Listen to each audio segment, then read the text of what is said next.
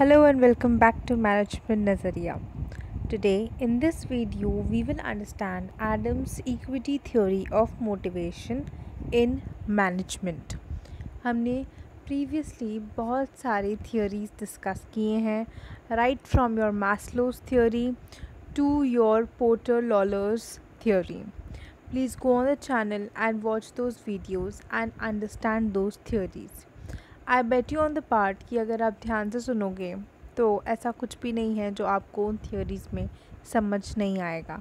So please to that bit of your side and understand those theories अगर आप competitive examinations के preparations कर रहे हो, या आप एक बैचलर स्टूडेंट हो, या आप एक मैनेजमेंट स्टूडेंट हो, आपको वो हेल्प करेगा। Hundred percent it will help you out so please go to watch those videos now for today let's understand what is your adams equity theory of motivation so the equity theory of motivation has been developed by sociologist or psychologist sorry psychologist stacy adams किसने develop किया है social psychologist Stacy Adams now what does she say so she says that this theory focuses on people's sense of justice and fairness किस चीज़ पे focus करता है किस तरीके से न्याय दी जा रही है लोगों को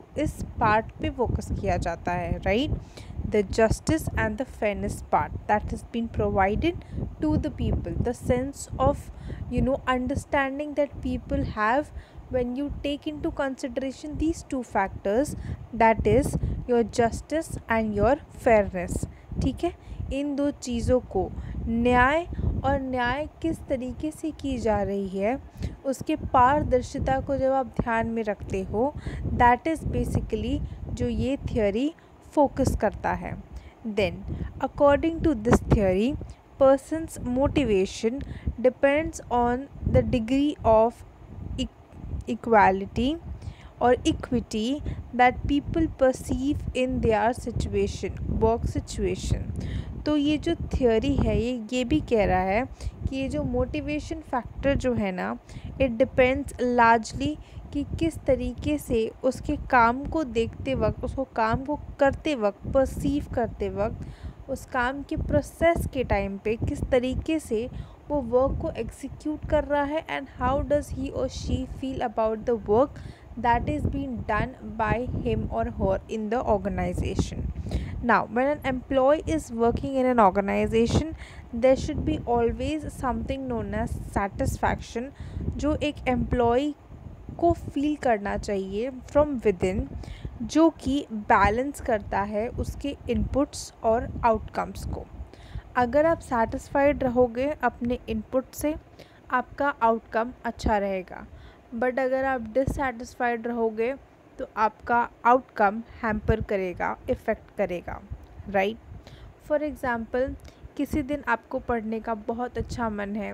यू आर रियली इंटरेस्टेड कि आज मुझे ये चैप्टर ख़त्म करना ही है। बट अगले ही दिन ऐसा कुछ होता है that you are not in mood of studies आपको कोई मूवी आ रही है वो देखना। आप डिस्ट्रैक्टेड हो तो आपका आउटकम भी डिस्ट्रैक्ट होगा राइट right? सो so, वही चीज़ है जो मैं आपको बोलना चाह रही हूँ। तो so there should be always a balance now inputs generally refer to what it refers to your qualification experience and special abilities ठीक है?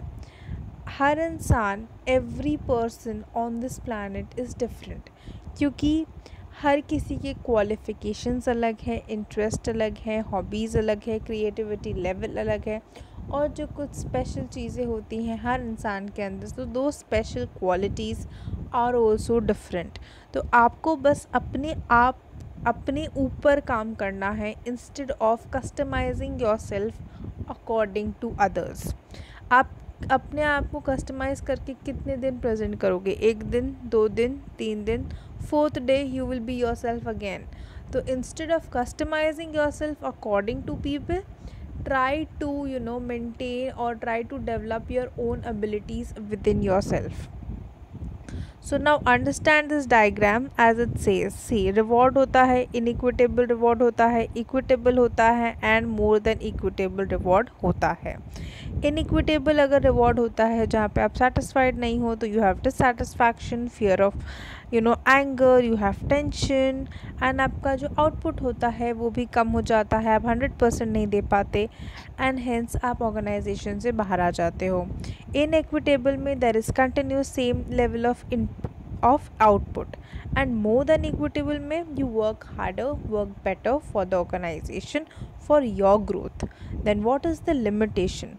Biggest limitation of this theory is that it does not provide any guidelines as to how to restore that equity ठीक है? वो equity factor जो है, उसे restore कैसे करना है, ये चीज़ वो एक्सप्लेन नहीं करता। So this is the only drawback that you can write down in your answer I hope आपको ये पूरा वीडियो क्लियरली समझ में आ गया होगा।